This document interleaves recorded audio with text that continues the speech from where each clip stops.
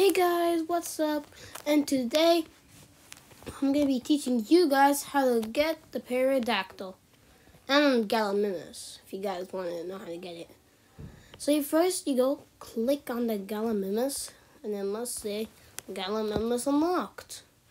And here, this is a Jurassic Fauna Zone where you um this is Jurassic Fauna Zone where you can get where the dinosaurs are unlocked. These are this is where you get the Triceratops or Velociraptor, but I'll make those in a different video. Anyways, let's go and start today's video.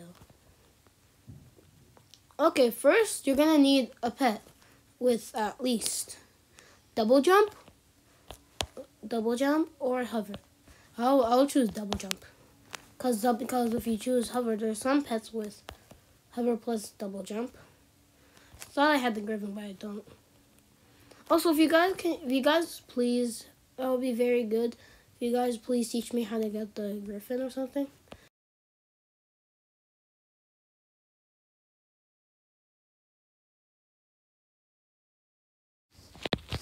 I better watch out me.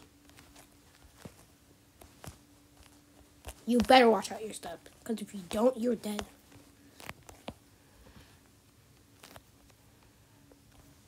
Okay, so you click on the pterodactyl, and it will say pterodactyl unlocked.